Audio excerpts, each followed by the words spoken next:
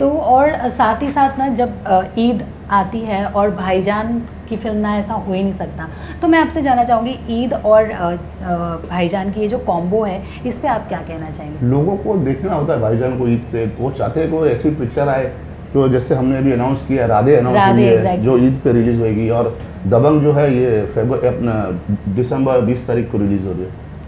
वही राधे की अगर मैं बात करूँ तो आइनो की राधे डिफरेंटली कम्प्लीटली अलग स्टोरी है और जो वांटेड फ़िल्म थी उसमें उनके कैरेक्टर का नाम राधे था। तो मैं आपसे जानना चाहूँगी कि राधे को लेकर आप कितना एक्सपेक्टेशन है क्या कुछ आप एक्सपेक्ट करें एक्साइटमेंट क्या और साथ ही साथ उनकी जो हमने देखा पोस्टर मोशन पोस्टर्स में उनकी जो बॉडी लग रही है गजब की लग रही है एकदम फैंस तो पागल हो गए हैं तो उस पर आप क्या कहना चाहेंगे? नहीं नहीं राधे भी बहुत अच्छी मूवी है उसमें भी कॉप का रोल है।